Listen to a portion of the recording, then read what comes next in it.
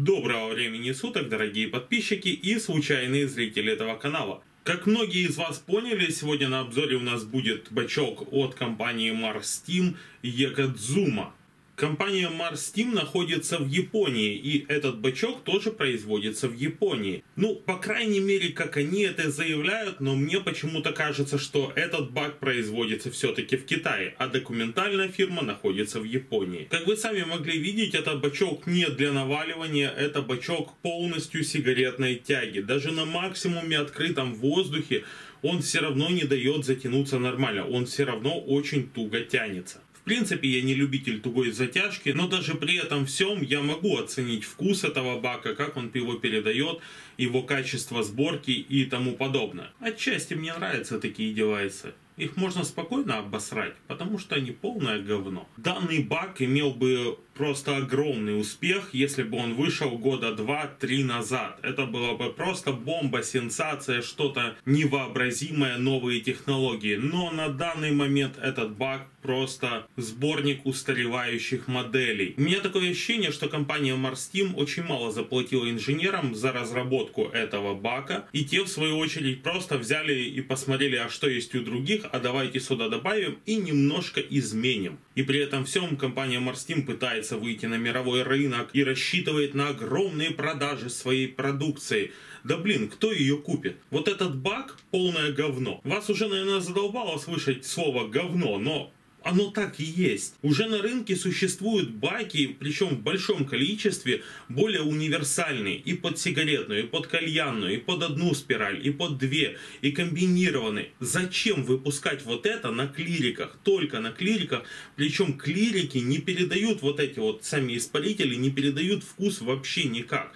Я привык чувствовать вкус жидкости на баках, которых я парил на односпиральных, на двухспиральных. Но про дрипки мы вообще не будем говорить, потому что тут сравнивать вообще не с чем. Но вкуса здесь нету никакого на вот этих вот испарителях. Они полное тоже говно. До того, как э, ко мне попал вот этот вот бак, и до того, как я начал общаться с этими японцами из компании Marsteam, у меня вообще было какое-то вот уважение к японцам, к их продукции, к тому, что они делают ее более качественно и все такое.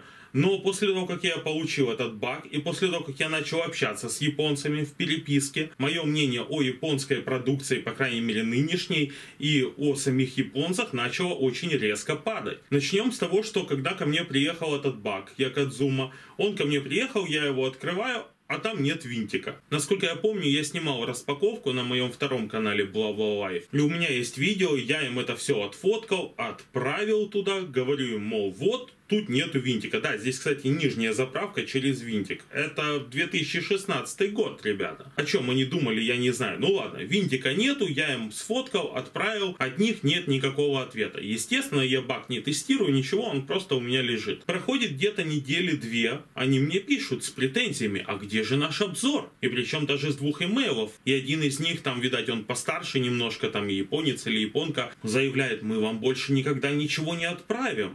Вы не делаете обзор, вы нас обманываете. Я сразу же их мордой в эту фотографию пишу им, типа, говорят, я вам уже отправил фотографию, где винт. На что они мне отвечают? А вы не могли бы его купить? То есть пойти на базар, поискать именно этот винт. Здесь винт с определенной резьбой и орингом. Где я буду сейчас бегать, искать этот винт? У меня есть чем заняться, чем выискивать этот маленький милипиздрический винтик. Я им при этом всем все это выдаю, отправляю. На что они говорят, ой, извините, мы вам отправим винтик. Я такой, хорошо, отправляйте. Проходит еще неделя, приезжает ко мне курьер DHL, где доставка, в принципе, этой посылки стоила где-то, на долларов 40 привозит мне коробочку, я открываю, а там две коробочки сменников и в кулечке два винтика. Вот от щедрот душевных радости моей просто не было предела. Ну ладно, думаю, ну попробуешь, теперь могу заправить, закрутить. Заливаю жидкость, э, все пропитал, все классно, подождал, делаю тягу, и у меня идут стойкие ощущения того, что я парю егованы или что-то такое. Там есть вот точно такие же маленькие клирики. Эти баги еще шли в комплекте с Евик ВТ, не VTC, а ВТ. Э, там просто отвратительный вкус на них был, они никак его просто не передают. Они его глушат до неимоверности и очень плохо работают. Кстати, вот только что сейчас э, подумал, может действительно здесь бы нормально пошла егошная жидкость, там 60 пропилена и с кучей ароматизатора немедленно. Может, да, вкус бы тут появился. Но с теми замесами, которые парю я, это 70 глицерина, этот бак просто не подходит.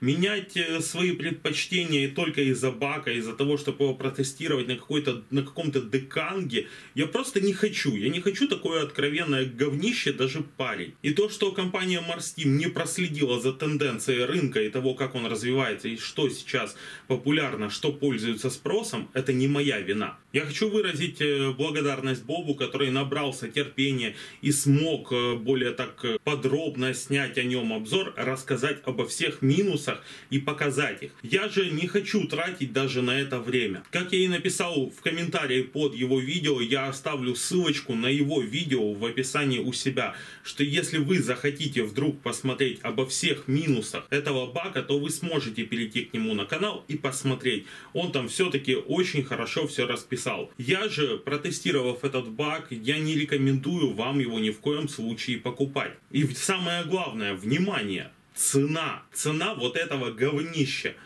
от 40 до 50 долларов. Они, кстати, попросили разместить меня ссылку в описании под видео на магазин, где он продается. Вы можете перейти и посмотреть. Это просто... Я не знаю, о чем они думали перед тем, как выпускали этот баг. И когда устанавливали на него цену. Все, меня бомбит по полной. Все, вот на этом видео заканчивается. Баг этот полное говно. Ни в коем случае его не берите. Всем удачного, до свидания.